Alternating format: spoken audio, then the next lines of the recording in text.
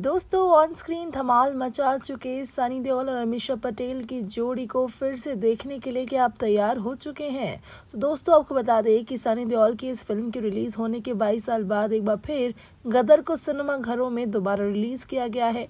9 जून 2023 को सिनेमा घरों में रिलीज़ गदर को लेकर लोग खूब एक्साइटेड दिखे। सनी देओल भी दिल्ली में एक थिएटर में पहुँचे और फ़िल्म देखने के सनी देओल भी फ़िल्म में एक थिएटर में पहुँचे और फ़िल्म देखने वाले अपने फ़ैन से बात की और उनका शुक्रिया अदा किया।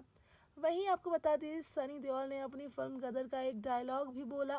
फ़िल्म गदर, आखिर में film Gadar two film Gadar two में गदर की झलकियाँ दिखाई गई हैं। इस तरह से फ़िल्म गदर टू का टीजर सामने आ गया है।